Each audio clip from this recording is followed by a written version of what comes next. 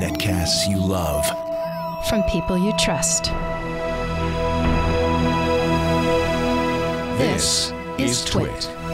Bandwidth for Ham Nation is provided by CacheFly at C-A-C-H-E F-L-Y dot com. This episode of Ham Nation is brought to you by ICOM. For more information, visit icomamerica.com slash hamnation.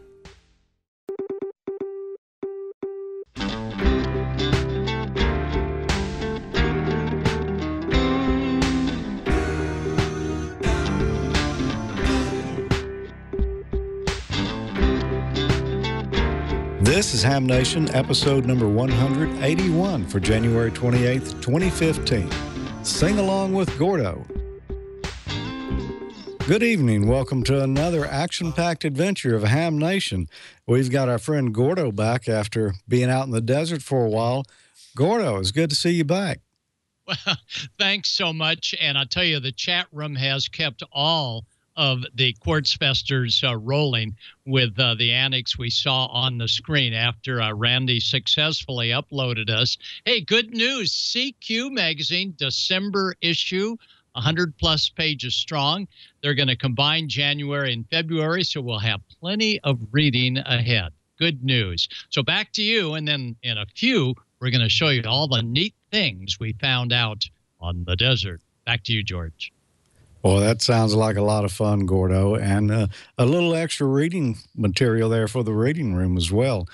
Well, uh, Don is here, and you know, Don, we ran into each other this past weekend, and I've got some evidence a little later in the show. Oh, no, you didn't call the insurance company, did you? No, no, we wanted to keep them out of it. Hey, look, I I, I love CQ, but I'm a I'm a little behind.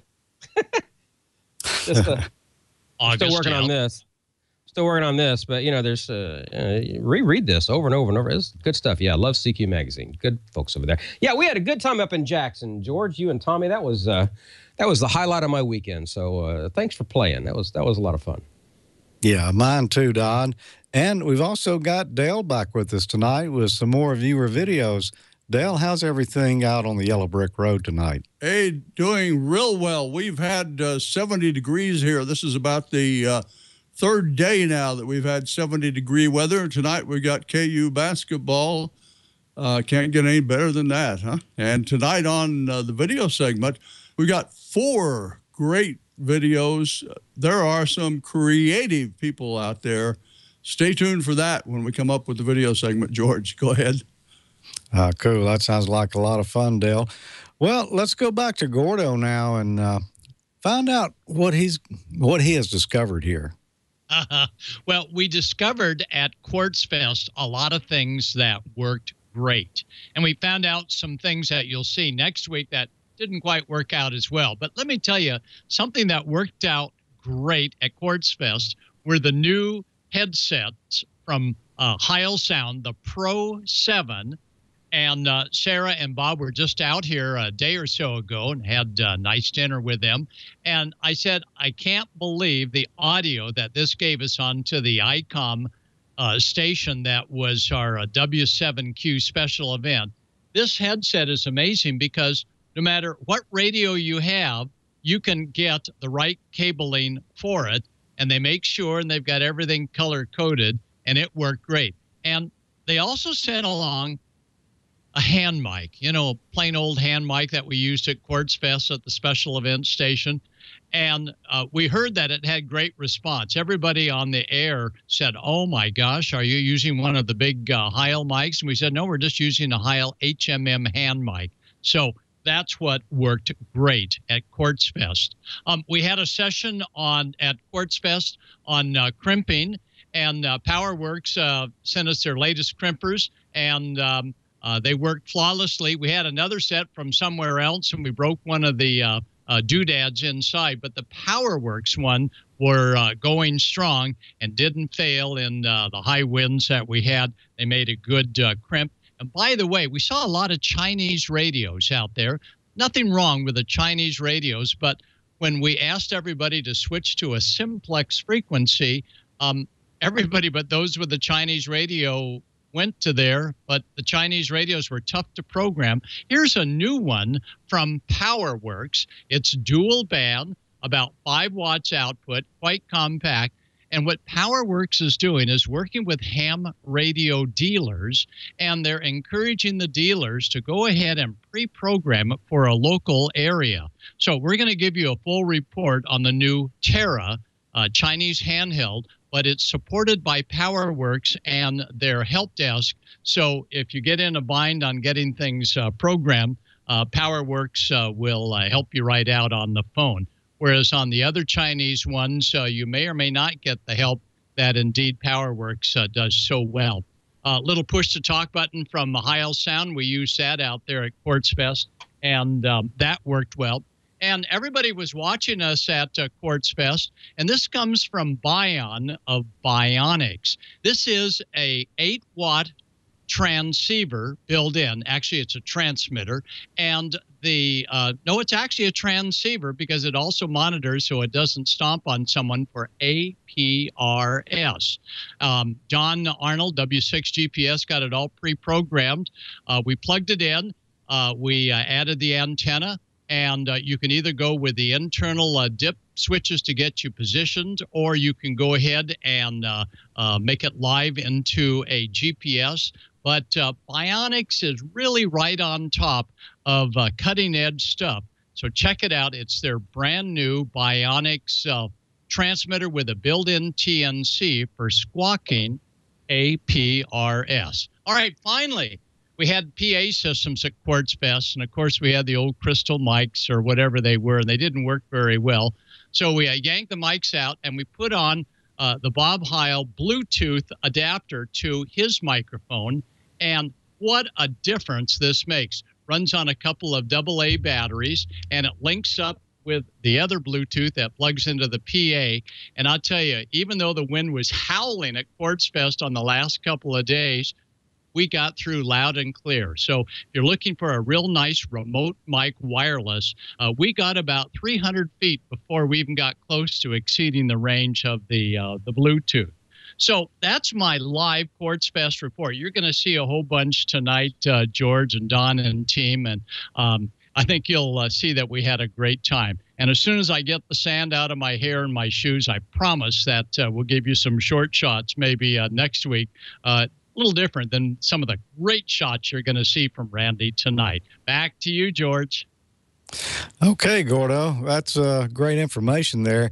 And we have a little clip of the clip that we, well, actually, the live stream we wanted to have in the last show, but everybody just looked kind of blurry. I don't know. Uh, yeah, it is bandwidth, of course. But Randy edited it for us, and we've got a good, clean version here. So let's take a look at that. Oh, there it is. Burning Sandham. Marilyn, W6MCJ organized a group of volunteers to build the burning ham out of scraps of lumber. Gordo donated four HTs to the burn. Marilyn's putting the final touches, getting ready.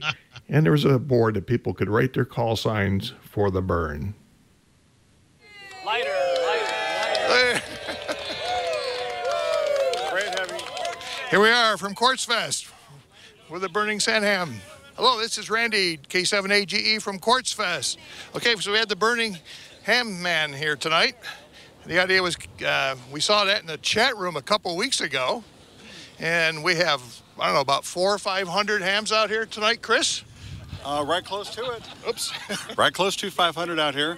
Step over a little bit. This is Chris KR1. KR1SS. SS. And Chris is organizing everything here for us doing a great job. It's been a fantastic time. This is my my is a firebug. He's got this torch here. Gordo. All right. Uh, well, we're here live, uh, live and direct at uh, Quartz Fest uh, 2015. This is Chris's fifth year of rolling it. And thanks to the Ham Nation chat room, you said you got to have a ham that's burning. So let me check with the hams here. Did you want a ham that was burning? Over? All right. Well, we've got Leo Laporte, we've got Ham Nation viewers rolling, and uh, we are live from Quartz Fest, Arizona, where all the hams in the know are now toasting themselves and roasting themselves here at Quartz Fest. All right, uh, back to Randy and his team. Okay, so it's flaming away great. And it's really burning. We got, uh, what, four HTs on here tonight? It's, uh, it's really burning. Uh-oh, gonna really torch off the HTs here. That's it. Dump it on there. Let her go. There it goes. That's a real hot radio. And you know, I've got to say, the best part of Quartz Fest is it's not just a one Burning Man show, but it's a team effort to pull this off. Right now, we've got the wind blowing about 30 to 35 miles an hour.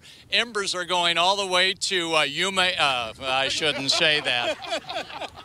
But you know, as hams, we have our obligatory fire extinguisher. Of course, it's out of juice, but uh, nonetheless, it looks good. So again, everybody on the count of three, let's just say Ham Nation so they'll never forget us and the Burning Man. Ready? One, two, three. Ham Nation! Woo. There we go. That's great. Thank you. Thank you. it's been a great week. A lot of great sessions, a lot of great people. Everybody's really helping out. It's a great time. I don't want to get too close to Uh, that. it's do- great, Randy. and I'll help you out by putting out your butt that's on fire.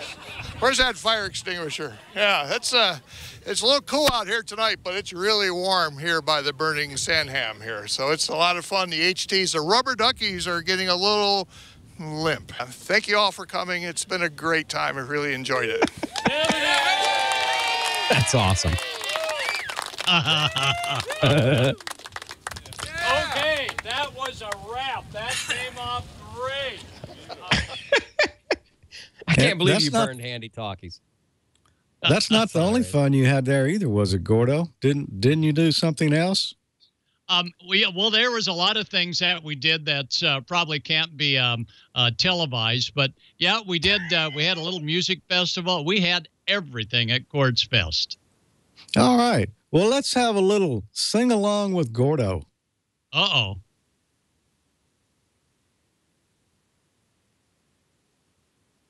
Okay, Gordon's going to do a group song. He's got the whole world in his hands. Now, I can't play and sing at the same time. Actually, I can't do either at the same time. So, with instrumentation, we're all going to do He's Got the Whole World in His Hands, and the words are not hard. Ready?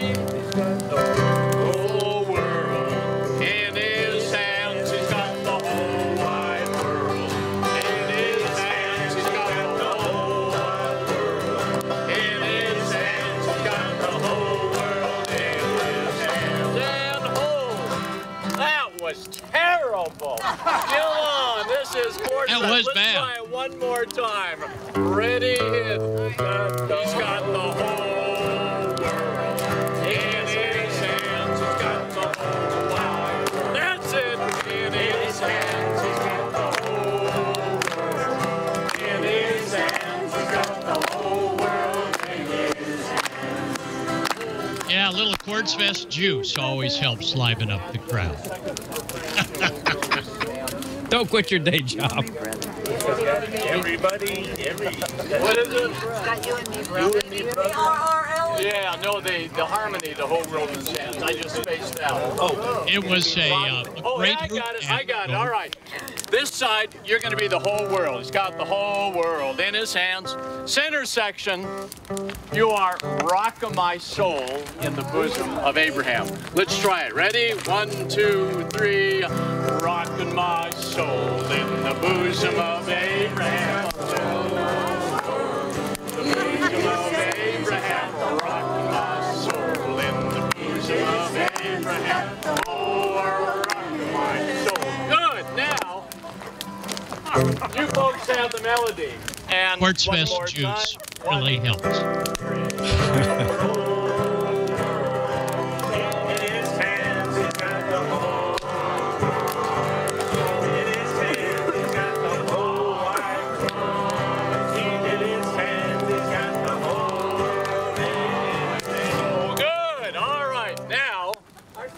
Gonna launch this antenna. little dude.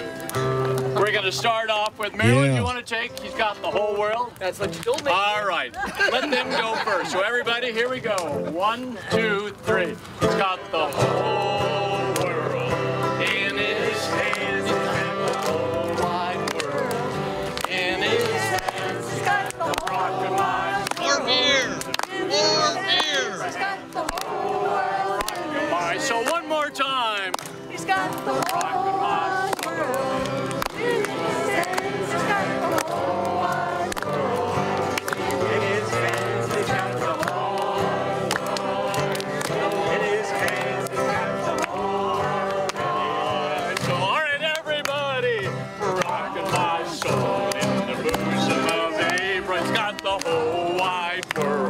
See what a little his blind can do? He's got a rock my soul. in his hands. He's got the whole Wow! That's a round and a half. Thank you. Great More accompaniment. Thank you. More wine. This land is your land. So was it the cactus juice or the desert heat? Uh, yeah, yeah. A little of both. Okay. Some of neither. Well, it looks like y'all had uh, a heck of a time there, Gordo. I'm gonna have to make it out there one year.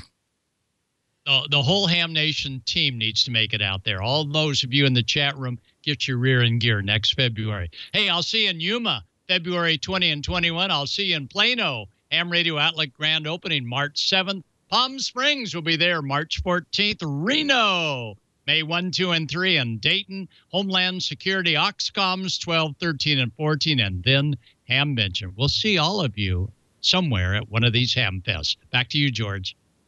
Well, thanks, Gordo. Yeah, if if Gordo's going to be in your area, you definitely owe it to yourself to go by and uh, and just experience it. I I don't know what else I can say about it. Do you, Don? no. no. No. Looks like quite the trip, though. Oh yes, yes. What's in the news this week? Oh, we've got all manner of uh, of activities in the news. Why, I believe we have tape. Brian? From Amateur Radio Newsline, report number 1949. These are the Ham Nation headlines for Wednesday, January 28th, 2015.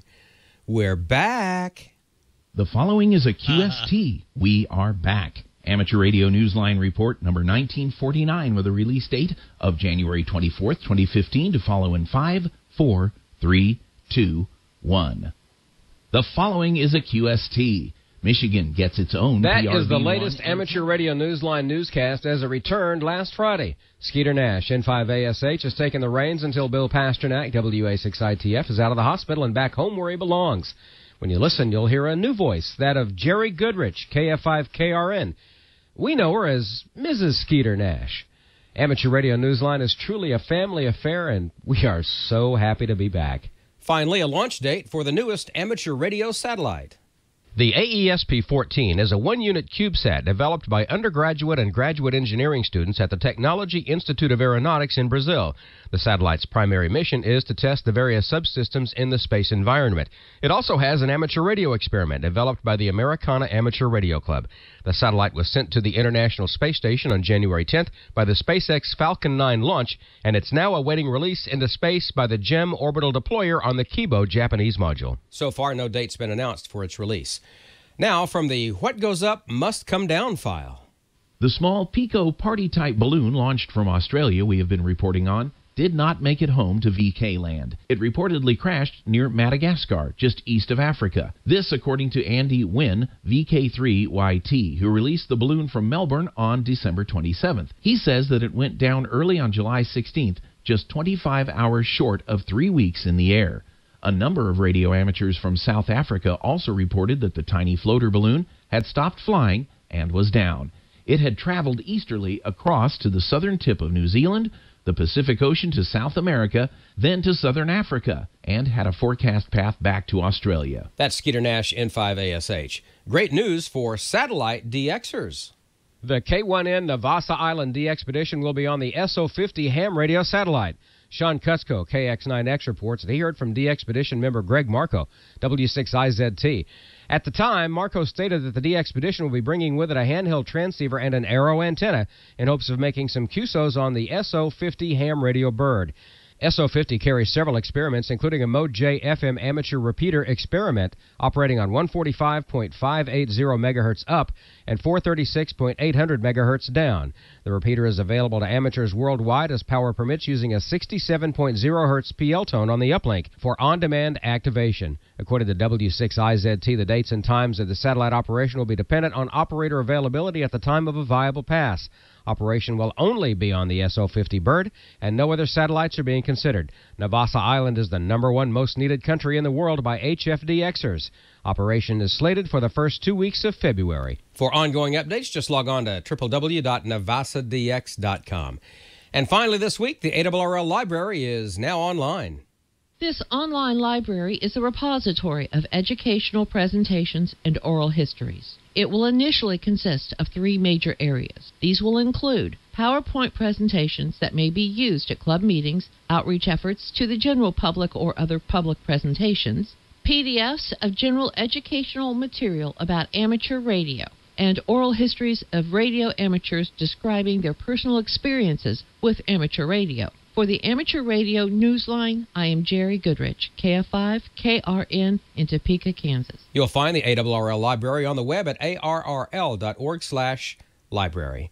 And that's all from Amateur Radio Newsline, your independent source for amateur radio news brought to you weekly for over 37 years and counting at www.arnewsline.org. For Bill Pasternak, WA6ITF, Skeeter Nash, N5ASH, and Jerry Goodrich, KF5KRN, I'm Don Wilbanks, AE5DW. It's good to be back. 73. We'll see you next time here on Ham Nation. Yeah, it is good to be back. And, uh, you know, with, um, with, uh, there's a lot of big DX expeditions going on. Of course, we've got Navassa Island coming up. Uh, I know that a lot of people were trying to uh, contact Iran over the weekend, and on Monday there was a small M-class solar flare, and uh, Dr. Tamitha Skov, who uh, is uh, otherwise known as the space weather woman, uh, has some information about how that may or may not affect the ham band. So if you're a big-time DXer or, just a casual operator like a lot of us are, you might want to pay attention to this. Here's here's Dr. Skov. Hi, I'm Tamitha Skov with your solar flare forecast for the week of January 27th. Region 2268 is at it again. It showed up on the East Limb and fired a couple M flares, and then it died down. But now that it's rotating to center disk, activity is picking up again, and it's not alone. There are a couple very fast growing regions like Region 2271 and this new region, and these regions are beginning to flare themselves. So we might see more flare activity over the next couple days. Switching to our M flare threat meter, you can see we did have a couple of moderate flares about a week ago, but then activity dropped off. Until the 26th, when activity is picked back up again, uh, we have that M flare there. You can see it just barely popped over the M flare level, and it wasn't very uh, long in duration, but that could be a sign of more activity. So you ham radio operators might expect a little bit more noise uh, in your communications over the next few days. Looking at your solar flare and particle radiation storm outlook over the next few days, NOAA has given us about a 30% chance for M class flares over the next three days. And I've extended that out to about five days because regions 2268, 2271, and that new active region cluster that's growing so rapidly will still be on the Earth part facing part of the disk over the next week uh, before they rotate off. So expect to see a chance for M flare activity. Plus, we have region 2257, the old region that was very active on the backside. That will be uh, coming into view uh, in the next few days, and it could be an M flare producer as well. So we haven't experienced a lot of M flares yet, but the potential is there. So you ham radio operators expect to have a bit more noise and static perhaps in your communications over the next few days and prepare yourself for possible blackouts or disruptions uh, as these regions transit the Earth facing disk over the next week. I'm Tamitha Skov. Thank you for watching. Thanks, Dr. T. She's amazing. It, it just man, we're going to get her on Skype one of these days and uh, and Yeah. talk to her live and have her explain this whole thing because it's uh, you know I, I mean I've spent a lot of time looking at the sun. Well, no, no, you really shouldn't do that. but, um, that explains a lot. kind of doesn't it? But uh, she did that specifically for Ham Nation, uh, and uh, she's not a ham, but of course, being a, a, solar scientist, she knows what it does to uh, our activities. So uh, she's cool. I'm working on her to get her license. So again, uh, uh, thanks, Dr. T. We appreciate it, and hopefully we'll have that be a, uh, a semi-regular thing. And uh, of course, if anything pops up, we'll we'll have her have her come on and, and, and talk about it. So awesome, Dr. Tamitha Skov. You can watch her on YouTube. Just do a search for Tamitha Skov, and also she's at, very active on Twitter uh, at Tamitha Skov. Uh, T A M I T H A S K O V, one word, all one word, at Tamitha Skov on Twitter. So uh, there you go. Check her out. A great asset to uh, to what we what we do here, George. That's for sure. Because uh, uh, you know, like I say, I, about the only thing I know about the sun is I look at it and it's real bright. yeah, and I just don't think it would look the same with you standing in front of it either, Don. Or, well, or well, now, you know, since I lost that 150 pounds, you know, it's, it's not nearly as big an eclipse as it used to be. yeah, Yeah, and and and and the moon is not nearly as impressive. no, no, Uh, we, we won't go there. We won't go there this time. no. You tried to you tried to bait me, but I'm not. I'm not going there. Gordo, You're learning. I just listened on 50.125. I don't hear anything here, so it must be a West Coast phenomenon, or else my antenna is really a dummy load. No, no. I think it was short skip for about an hour, and I'm listening right now on 125, and all I hear is the noise that the good doctor was talking about. No signals anymore. Okay. Well, uh, you know, that's just one of those things you got to try. And uh, I guess it wouldn't hurt if you just left a radio sitting there on the beacon frequency. And when you hear something, hey, you know, it's your time to take off and, and get in there while it's there. Uh, a couple of things. Well, really, only one thing I want to mention before we get into our smoke and solder segment tonight. Uh, you know, back at the, I guess it was the end of November, uh, my partner Tommy over at Amateur Logic and I did a pilot episode of our new Ham College program, and we got such good response to that. We're going to begin production of that, and it'll be this Friday at, uh, let's see, 7 p.m. Central Time at amateurlogic.tv. Uh, go there. We'll we'll have the first pilot episode, and then it'll be posted as well a few days later. Uh, we're really looking forward to uh, making some new hams with that, and getting these new hams also active and give them some things to do. And uh, uh, we think it's going to be a good resource, and uh, and like I say, a lot of good response on that. So we're really looking forward to it. Live.amateurlogic.tv Friday night at seven central or what is that? That's uh, 0200 UTC. Well, as we mentioned earlier, Don and I got together this past weekend at the Capital City Hamfest in Jackson, Mississippi. And well, well, Don and I will talk more about that in a minute, though. Right now, let's just take a look at uh, what we do when we get together. Don, it sure is good to see you again, my friend. It's good to be seen, my friend. It's good to uh, be up here in your little neck of the woods from uh, down south Mississippi. Yeah, we, we usually get together here every year. I think you missed last year, though, didn't you?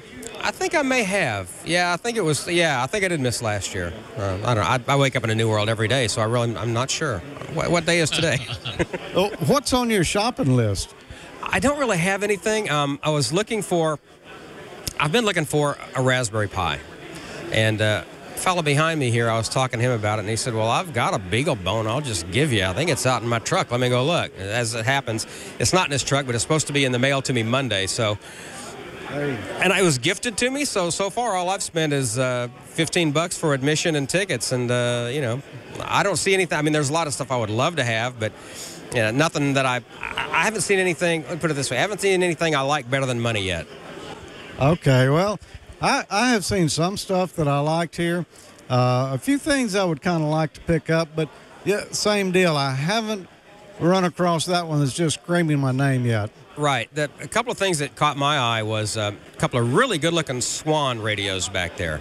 Um, and I had a 500CX and let it go several years ago at Huntsville, actually. And um, these look really nicely restored. I didn't see price tags on them. I was kind of afraid to ask, but there was a, a the two.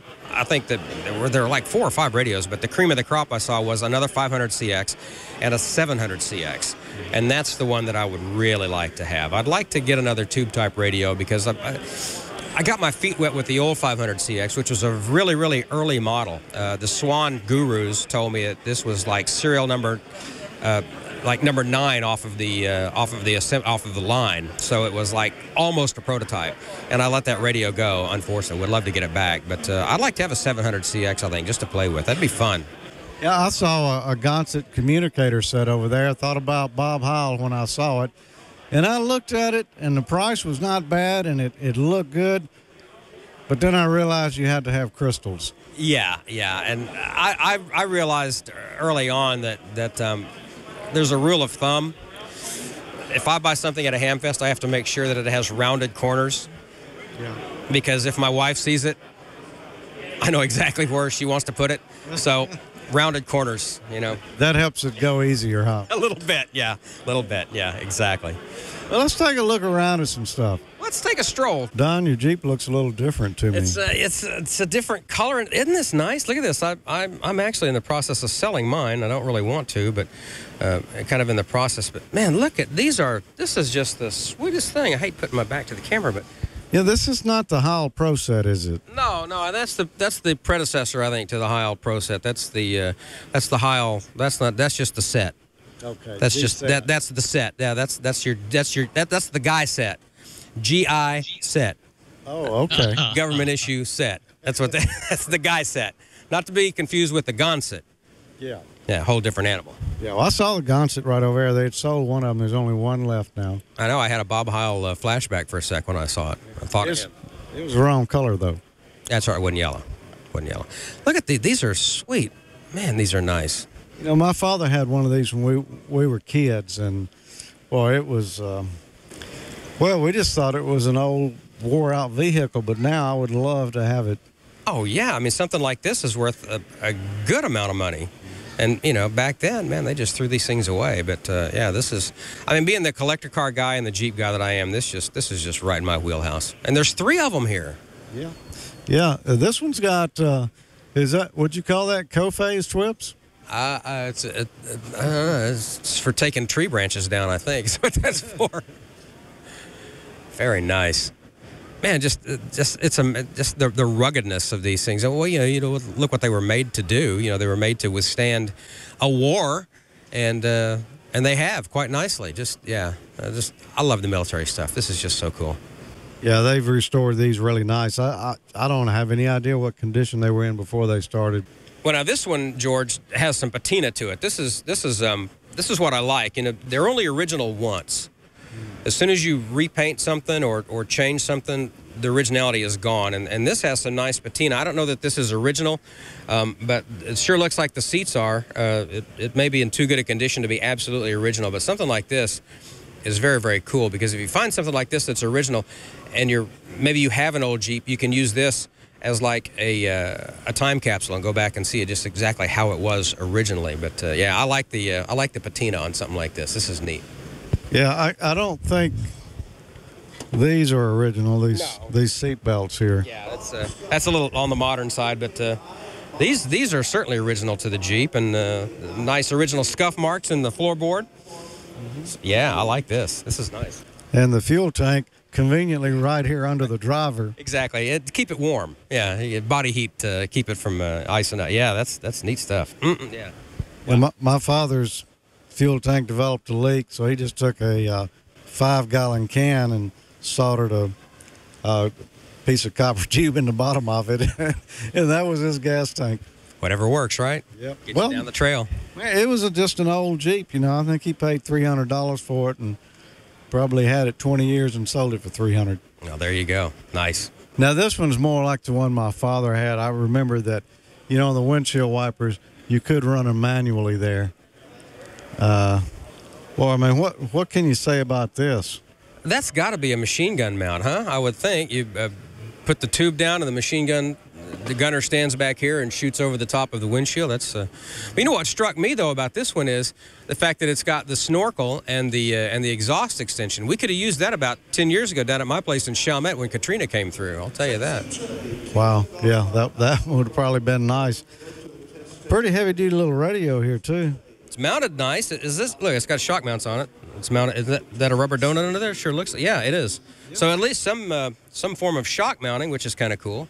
Uh, these are just the these are just the neatest old things, aren't they? They really are. Well, this one looks like original tires too, Don. Pretty close. Uh, this one, lot, lot newer than uh, this one. Doesn't have the cracks that this one over here did, though. But uh, yeah, these are. You can still buy these. This is this is definitely not original, but this one over here definitely is with the age cracks in it. They, I just love these old things. And I do too. Well, Don, I think I'm going to wander around a little bit. There's bound to be an old piece of junk around here somewhere with my name on it. I haven't bought anything yet. What'd you call me? yeah, let's go find something old to look at.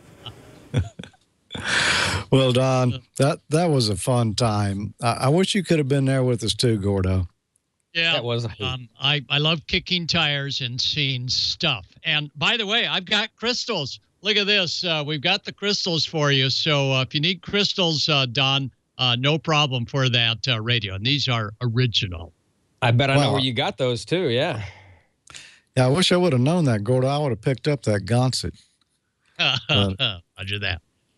Anyway, uh, great time, Don. Glad you came up for the weekend, and um, let's let's do it again soon. I mean, it'll be another year before Jackson, but uh, let's do it somewhere else soon.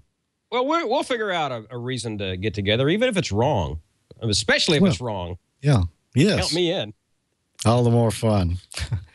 well, you know, last week I asked a question and I showed three little items there that got their power in weird ways. One of them was a boat, and I said, um, in the boat we just saw, capacitors were powering the unit. What's the official name for that type of capacitor? And only about, oh, maybe 10% of the people who entered this week got it right. I was surprised that not more than that did. So apparently, you haven't been perusing the catalogs um, like you should, or you would know that those were around.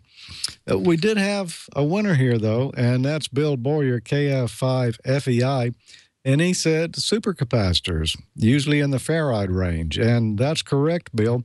Uh, that tiny little capacitor is called a supercapacitor. And, you know, it could be uh, one, two, maybe three farads. And, you know, when I was, um, when I was in college, uh, the professor told us that a one farad capacitor would be as big as a room we were in. Somehow, I, I don't know if it was a shrink gun or what they used, but they've got they've got those things down tiny, and they, they don't put out a lot of power, but you know it's good as a battery replacement in uh, a lot of different projects. They're mostly used to back up memory and stuff like that in small computer projects. So for next week, we've got another question here. Oh, by the way, what Bill won? He won this Heil USB-Q, a little USB uh, preamplifier and adapter that you can plug into your microphone, hook a USB cable to your computer, and you've got uh, audio with high and low equalization going to your computer, as well as you've got a headphone jack here on the rear and a volume control for that. So you've got bidirectional audio, but great little device to add to your uh, notebook computer to get some good audio on it. So for next week, I, I think we'll continue the Hamfest uh, theme here. What did Don say he wanted at the Hamfest?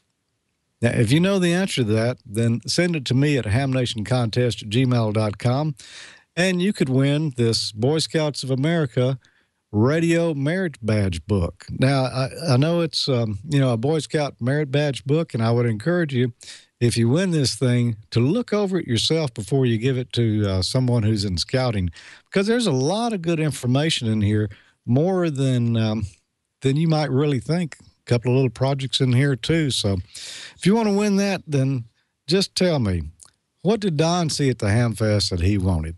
Ham Nation I know that one. I know that one. I know that one. yeah, one. but you're not I know that eligible, Don. You're not eligible. You you are. Uh, were you a Boy Scout? Yeah. Oh, you were. Well, then you should already have the badge. no, I didn't get mine either. Yeah. I tell you what. Why don't we get Dale to come in here and bail us out? Hi, Dale. yeah. Good luck. Okay, well, we'll try. Uh, I uh, I had to have a thought though when uh, Gordo was leading the sing along with uh, "He's Got the Whole World in His Hands," and got to thinking that is what uh, all of us hams have uh, out there in our hands, the whole world. Uh, just just as an example, in the last uh, 24 hours, I've communicated with. Uh, Paul in England with some news about the Royal Lifeboat Station special event coming up. Uh, there's Simon in New Zealand. We've been talking to him about how to get George in that loud green t shirt we had in the Show Me Your Shack last week. And uh, a huge shout out this evening to half the hams in Madrid. They'll be gathered around their computers this evening to watch their four antenna shootout. That's coming up. Well, we've got four great videos, so we better get it moving. And uh, Ray Novak has rules if you want to visit uh, ICOM. So that rule, you have to shave first. And uh, let's join Dwayne, KD6 Alpha Foxtrot, and see how that develops.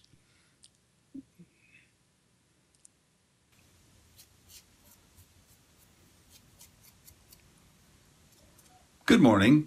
Kilowatt Delta 6 Alpha Fox, Dwayne DeSalvo here. And I wanted to show you a video of our recent uh, visit to ICOM headquarters in Kirkland with Ray Novak. But first, I just want to finish my Harry's shave. Man, I'll tell you, I love this Harry's razor. It's Yeah. absolutely phenomenal, and the uh, the gel that comes with it, unmatched. It's incredible. A nice, close, smooth shave. The only bad part is, it's sort of addicting. It gets to the point where that's really all I ever want to do. You know, I find myself shaving morning, noon, and night, but it's a nice close shave. Mmm, really great. Anyway, enough of that. Let me get to the video, and you can see our recent uh, visit to ICOM North America. Hope you enjoy it. On January 5th, Kilowatt Delta 6 Alpha Fox, Dwayne DeSalvo, and his XYL Tony visited the ICOM headquarters in Kirkland, Washington to meet with Ray Novak. Ray showed us around the ICOM museum area and gave us some of the history that led to the founding of the Inoue Electric Manufacturing Company in 1964 by Mr. Takuzo Inoue. Mr. Inoue built his first all transistor FDA M1, a 1 watt 6 meter rig. And this was the beginning of the development of many state of the art amateur radio products under the name ICOM. ICOM has other divisions besides amateur, including land mobile, marine, and computer. Ray showed us the ICOM Ham Shack, November 7 India Hotel, with three different operating stations for multiple operator scenarios. One of the stations has a gold Heil microphone awaiting the installation of the new Gold Edition 7850. I was particularly interested in D Star technology, and so Ray showed us his ID51A D Star VHF UHF handheld transceiver and the cool interface he built using a Raspberry Pi computer and a DVAP module packaged in a small Pelican case with a rechargeable battery. A great combo for connecting to the D Star repeaters from home or on the go. What a great tour, and even the XYL enjoyed it. Thanks very much, Ray, for your hospitality. And 73s from Kilowatt Delta 6 Alpha Fox. Okay, 73, Dwayne. Uh, sounds like uh, Ray did give you a great tour there up in Washington. Well, the Everglades Amateur Radio Club joined forces with the Dade Radio Club of Miami to let local students talk to astronauts on the International Space Station. WSVN News broadcast this report.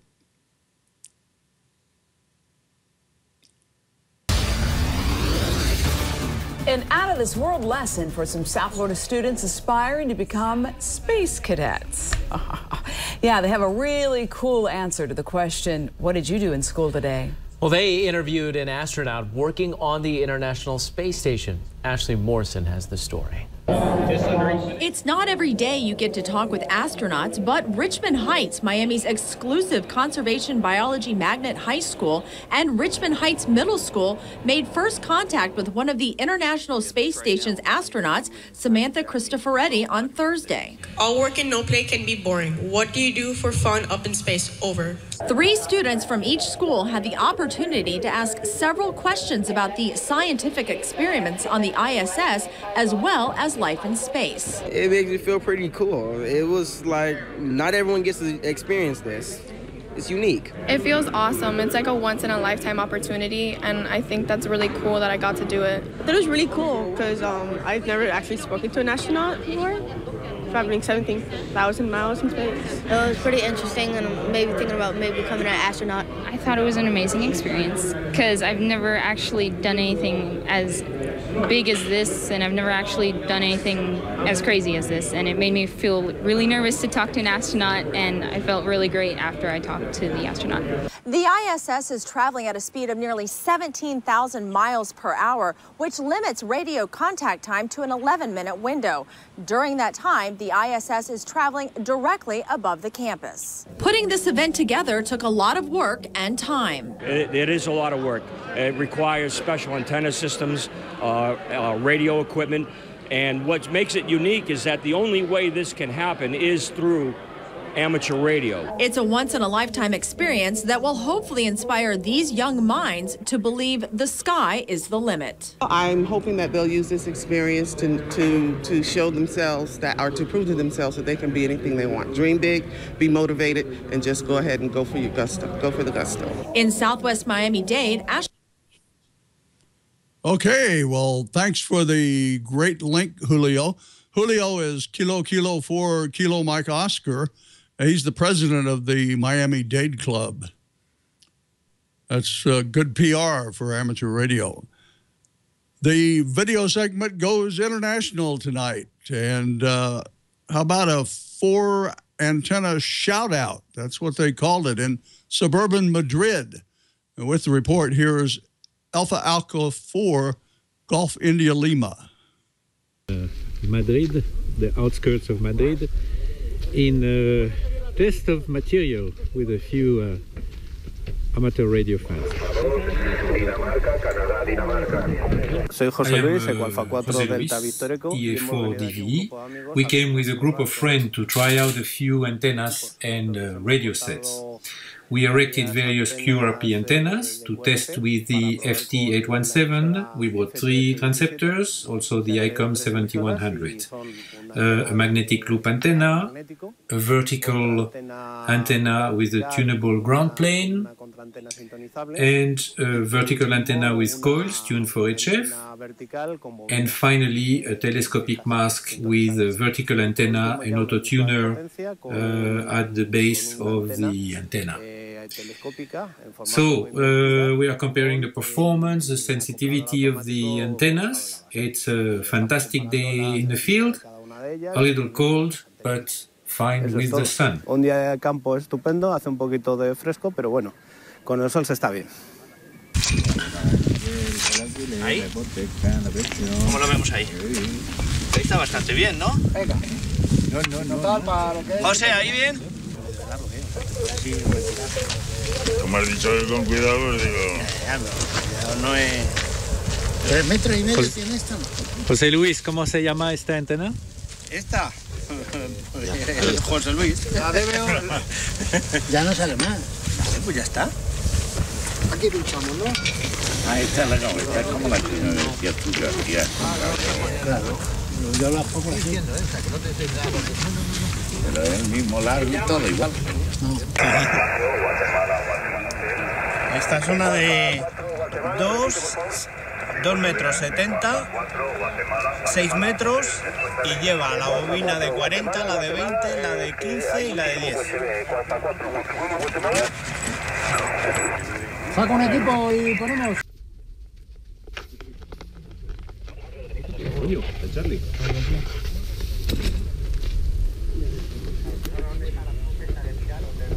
¿A que acoplar desde el equipo? Sí, sí contigo. Ah, bueno, que has pero no es como la 857 que acopla automáticamente sin pisar. Le pisas y acopla, o sea, es un... Qué el juguete. Con el algoritmo ahí, sí señor. ¿Eh? Con el ahí, que sí señor. Pues qué bonito el juguete. Para sintonizar hay que transmitir. Es que Yamaha tiene un coche y eso es una de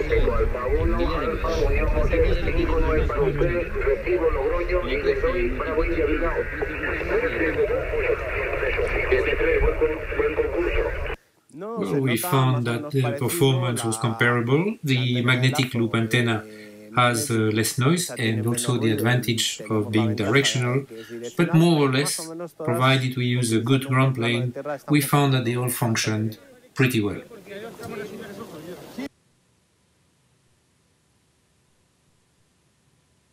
Well, we thank the amateurs there in Madrid for preparing that uh, great international coverage for uh, Ham Nation. And we appreciate you taking the time to translate the description and interviews for our audience. Are you looking for a new way to promote your Hamfest? Well, check out this promotional trailer. It was produced by Phil Pritchard. He's Kilowatt Charlie for Japan India Yankee. The following is presented for the health and welfare of amateur radio operators everywhere. I wish that doctor would hurry up. I've got to make a call.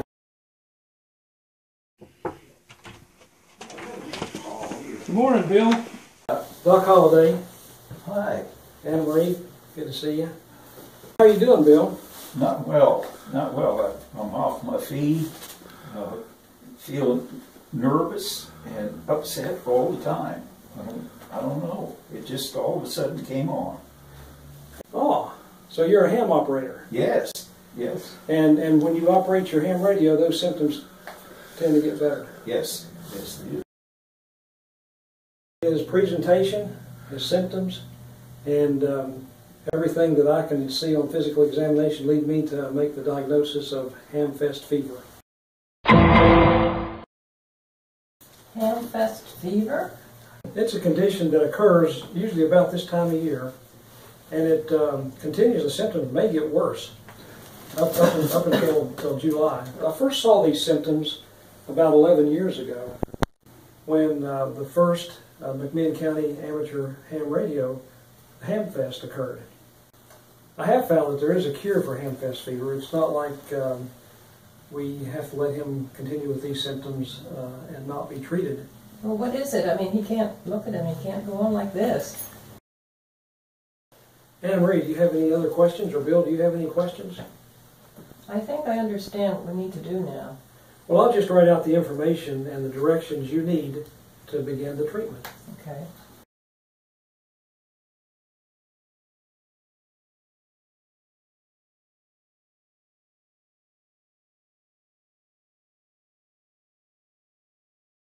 Very creative approach to promoting your Hamfest from Phil Pritchard there. Uh, here's a news tip we just got in from Chris. He's KG6TBB.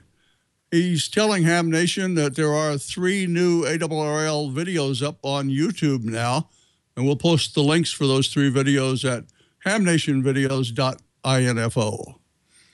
Well, next time it'll be time for another Show Me Your Shack. So be sure to email in your photos with equipment descriptions to Ham Nation videos at twit.tv, and you'll see your shack on Ham Nation. Well, to, uh, Monday is Esther's birthday. It's Groundhog's Day. That's why the groundhog's on the computer, computer monitor in the background. And Amanda's up next this evening with the latest from the chat room. But first, let's check out the latest from ICOM.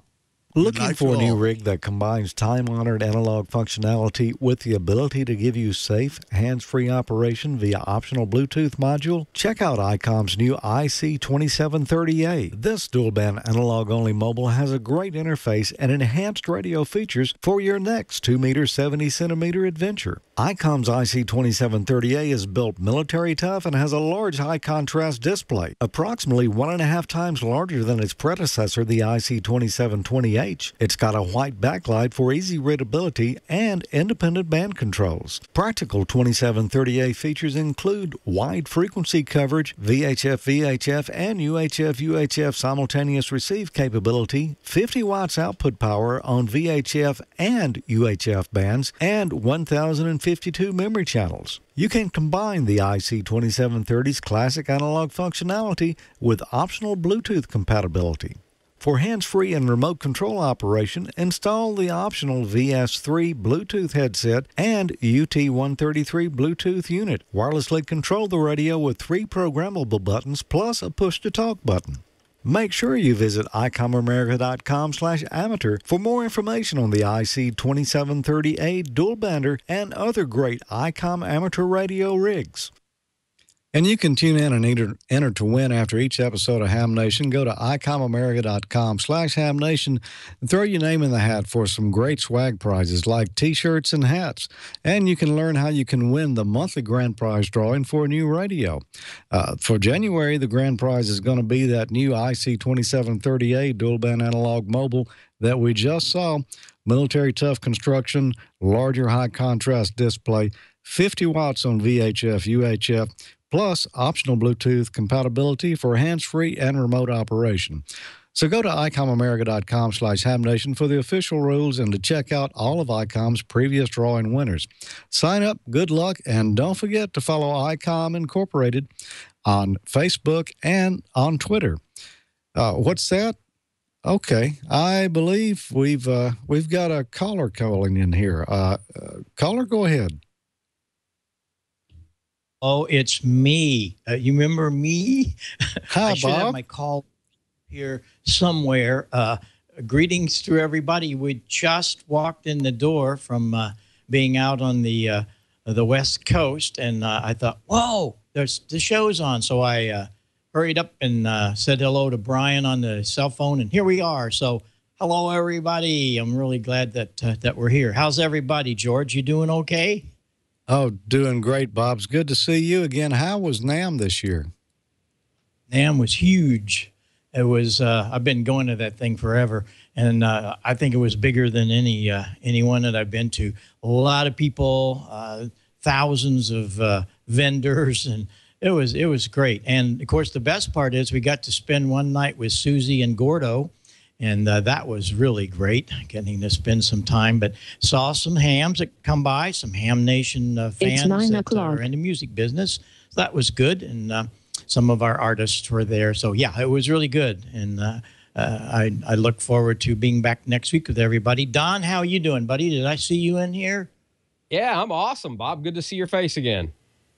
Yes, I I you I guess you have a picture somewhere of me so you wouldn't forget, right? yeah, I, it's, uh, it's it's going to be my next tattoo. yeah. the PR40 is good enough, and I love it. Amanda, how are you? Everything okay in Colorado? Oh, everything's wonderful. Beautiful, beautiful weather. And uh, NAMM this year, hey, it sounds like it was really a success. So uh, glad to uh, have you on for just a little bit. And yes, I have a picture of you around here somewhere to remind me of what you look like. Yeah, it was good. The National Association of Music Musical Merchandisers is the uh, official uh, uh, tag of that. I uh, uh, I've been going to it since 1959 when I was a demonstrator for Hammond organ and played. And guess what I did this year? I played in a Hammond organ booth for a while. so that it, it's a great show. But we were there, of course, uh, for all of our dealers and especially the international dealers. So uh, carry on. I just wanted to jump in and say hi to everybody. I don't have the chat room up. I just barely got this on. Thanks, Brian, for doing this. So we'll be here till the end. So uh, Amanda, I think it's uh, I think it's all yours. So we'll uh, see what's going on. Well, great, Bob. Thank you, and so glad to have you in the show tonight. And uh, I think that's a big surprise for look at that big surprise for all of us really. And um, one big question i had isn't NAMM normally in vegas or is it always in anaheim? No it's been in anaheim for a long long time. Uh, vegas is the ces show the consumer electronics show where you have all the gadgets. Uh, this is five halls. We're talking huge halls at the los angeles uh, uh, Anaheim, not Los uh, Anaheim Convention Center, they call it. And there just there are literally thousands of vendors from anything from guitar picks to monster PAs, and of course they have all the the artists are there. Slash was there playing. Uh, Stevie Wonder stopped by. Uh, uh, on and on and on. There were hundreds of of artists that come because they're uh, they're the guys that support them and of course, they're endorsees for some of these guys. They play at all these. So it's very noisy, uh, especially the hall that has about probably 500 drum companies in it, and they're all next to each other. About wow. noise, oh, buddy. But yeah, it's all about music, Amanda. Very good. Well, it sounds like you guys always have a successful show there, and uh, I think you also sponsor some kind of um, is it kind of a get together, a happy hour? You say? No, that's the thing that happens at NAB. That's the National Association of Broadcasters, which also happens in Las Vegas. So a lot of Okay. shows. That's why we're on the road so much. There's so many of these shows, plus all the other things we do. Very good. Yeah, I got the two confused. I apologize about that. Well, hey, I do have some wonderful announcements uh, tonight, you guys. First, um, my biggest announcement, because I'm so proud because the guy is from Colorado. I'd like to say congratulations, and I think this is also an AR Newsline. Congratulations, Colton. Guess how old this guy is? Five. One, two, three, four, five. Yep. Uh, KE0CRD just got his license. I'm really proud of this little kiddo. I can't wait to meet him. I think I'm going to meet him in about two weeks here at a ham fest. So, comes from Colorado. And not only that, but he answered the questions to the test via just verbal. He didn't read them and answer them. Can I can't even tell you guys what I was doing when I was five years old. I'm pretty sure I was still eating mud pies. So, um, this guy really smart kid colton congratulations uh you're you're must be a pride and joy to your parents and i'm glad that they uh uh, ventured you into this, so I can't wait to hear you on the radio. And um, yay to Colton! Um, a couple other new upgrades or licensees. I'd like to say that WJ9E Mike, he'd like to announce that his girlfriend Jennifer just got her tech and general license. So now she's a general all on the same day. And her call sign is KD9CWR. So congrats, Jennifer. Can't wait to hear you on the radio. I've talked to Mike a lot on the radio, so excited to meet you on the air as well. One more upgrade we have K0AVL. Wyatt just upgraded to general in December. So congrats, everybody. Big round of applause. Yay! All right. Uh, with that, I do have some questions. And now I know that Gordo's not here tonight. So, Don, I bet you can answer this for him. Um, why are they burning HTs at the Burning Sand Ham? Why not? Why not? yeah, that that shocked me as well. I, when I saw that, you know, that there were HTs, I thought, oh, great, they got to be like pictures of HTs, or they made them out of plywood and tacked them up there. But no, Gordon actually, um, actually donated four. I get maybe old, broken, or, or so out of date that they, you know, were not worth saving. Ha- I mean. Gordon's probably got four million radios anyway. You know, there may have been some old Marine radio, but anyway, they were handhelds and they burned them, and I thought that was just cool as it could be. Uh, you know, why if you got them and, and you're not using them, why not have a little fun with them one one last time? What So if you got them smoking? Yeah, Yeah, gonna exactly. That's it. please kids don't try this at home. Again i don't know how many times i have to put that disclaimer out there but don't try this at home. Okay so we're not exactly sure why. Maybe we'll save that for gordo next week if he's on. Okay so some realistic questions here now. I do have a couple. Uh george this one i'm going to send out to you. Dlr who's on the chat quite often and i were discussing about crystals since gordo had said i've got some crystals for you um, can you tell us the correlation between crystals and ham radio, or perhaps crystals and frequencies, George?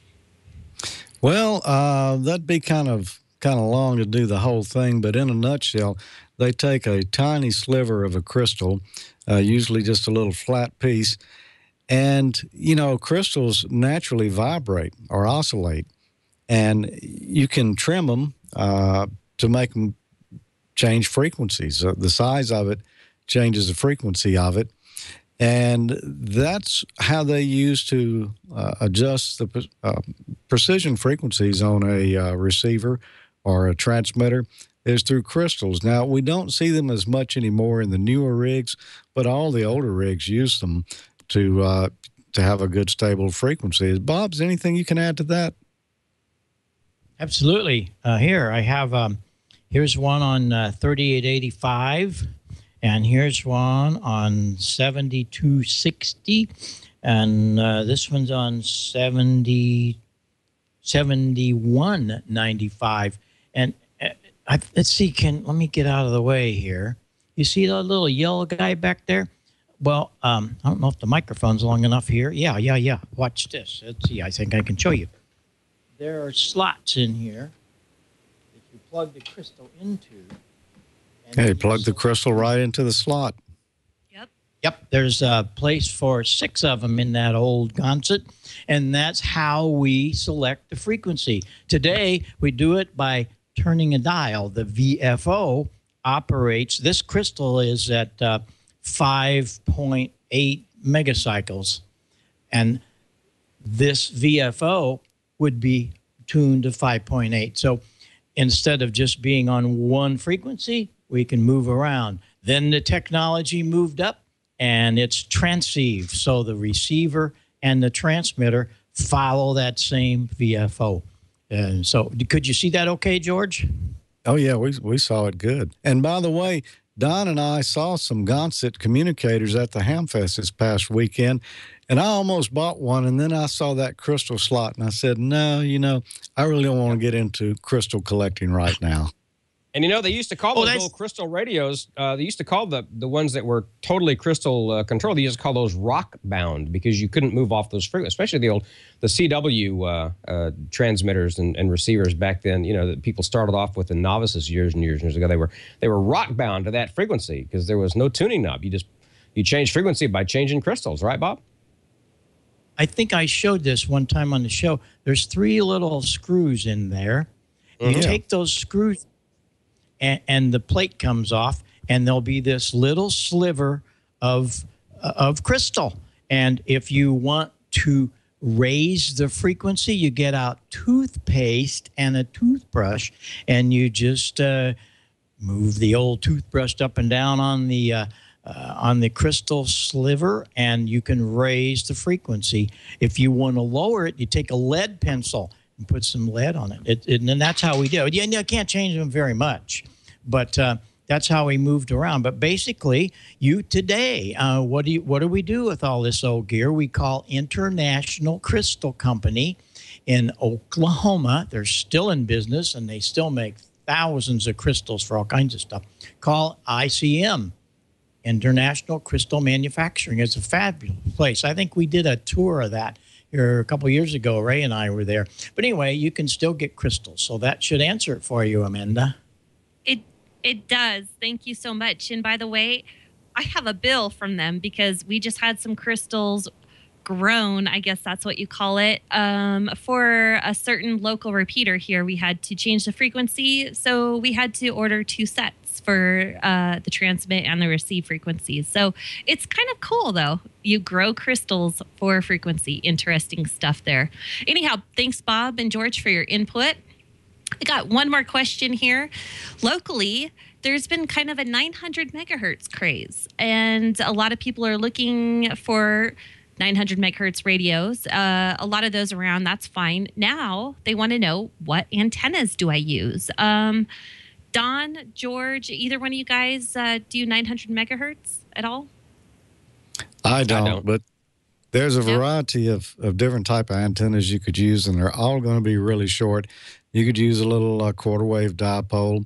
You could use a Yagi. Uh, you could even use a dish at 900 megahertz. Wow, a dish, Absolute. Hmm? Yep. Go ahead, Bob. Yeah. and The thing is that I, I, I've always been one for not having multi band antennas, especially in the VHF frequencies. Get a specific frequency, uh, the band, and, and get an antenna. They're all little, so you can have a dedicated antenna for 900 megs, dedicated for 440, dedicated for two meters, and so on. Uh, it, it really works well if you do it that way. So uh, look around, and it's very inexpensive. But you know what? Hey, George, don't you think we should build them? Uh huh. Oh, yes. We should build them because they're, they're not very big and they're pretty easy to build. Okay. Well, I, I like that idea. And um, let me explain to you why 900 megahertz is going to going crazy here. It's not your typical repeater frequency or anything else, but we have a lot of tourists coming through here and they do a lot of WeatherNet Skywarn, as do a lot of uh, states during the summer seasons. And they want to have some back chatter about weather things that they can pass back and forth that maybe a lot of local tourists won't be listening to so that they a don't freak them out about crazy weather stuff or just to um, kind of discuss maybe road conditions, things like that, before they let the public know on two meters or 70 centimeters. So it is kind of a nice um, alternative. So you guys, uh, it I, am not exactly sure how it's going to work out for us here locally, but we'll see. Um, with that, you guys, that's about all the questions I have tonight. And uh, it's been a great, great show. Nice to have you, Bob. And so I'll send it back to um, George. Take it away. You guys have a good, good night. Okay, Amanda, thank you. I've just noticed in the chat room here, uh, Bob, our friend JD N0 IRS, says that he runs 900 megahertz sideband and CW in his longest distance was 637 miles, and that, that's pretty amazing at 900 megahertz. Yeah. There's only one situation. It was JD. oh yes. Yeah. It's yep. zero RS. He is a real fantastic uh, VHF, UHF, and beyond uh, operator, and he's, he focuses on that. So yeah, he does a lot of great things. That's great.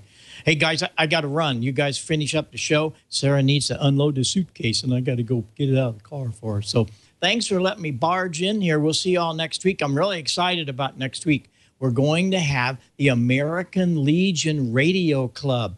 If any of your your father, uh, mother, any of your relatives uh, were in the war or any kind of service, and they belong to the American Legion, they have their own amateur radio station and they're going to be on here from that station next week. I'm really excited about this. So we will be here next week, and uh, I really appreciate you letting me barge in. So go ahead, George, and so long, Don, and Amanda, and Brian, and all of the chat room. We'll see you next week right here.